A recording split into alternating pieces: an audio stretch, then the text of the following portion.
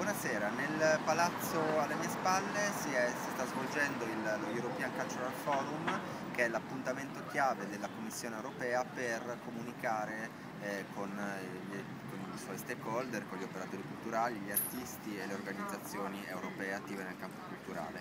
Eh, si, I temi principali sono quelli dell'innovazione, parleremo magari dei contenuti in un altro video eh, adesso vi diamo soltanto la notizia che fra un paio di settimane dovrebbe essere eh, licenziato, diciamo, dovrebbe uscire il nuovo programma europeo che andrà dal 2014 eh, per, i, per, i, successivi sette anni che si chiamerà eh, Creative Europe. Abbiamo già annunciato in un altro video che un, eh, metterà insieme il programma media, quindi l'audiovisivo con il programma cultura.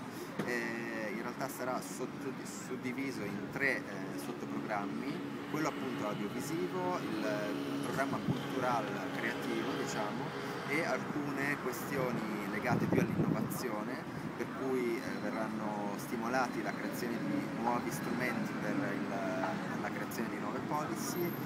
la eh, riunione di dati e la sperimentazione. Queste sono solo informazioni preliminari che ci hanno dato perché il processo è ancora in corso, comunque eh, come sapete il, dialogo strutturato con gli operatori è finito fa, adesso sta per uscire questo, questo nuovo programma, verrà a sua volta, ehm, dovrà essere a sua volta discusso anche dal Parlamento europeo, per cui c'è in atto anche una campagna che si chiama We Are More eh, eh, affinché i parlamentari europei sostengano questo nuovo programma, anche perché questo nuovo programma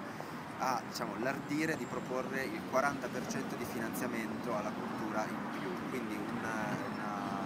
somma diciamo, considerevole che può migliorare la cultura del, del, del nostro continente, dell'Europa unita. E gli aspetti fondamentali sono che eh, sia, diciamo, tendenzialmente il, il, il, programma cultura si allineerà alla strategia Europa 2020 e così eh, avverrà anche per i cosiddetti fondi strutturali che non fanno parte del programma cultura ma sono un'importante fonte di finanziamento alla cultura, per cui non ci sarà più la, la politica di coesione nei fondi strutturali, ma ci saranno le, le, le, tre, diciamo, le tre, direttive della, della, strategia Europa 2020, quindi la creazione di uno sviluppo intelligente, inclusivo e sostenibile.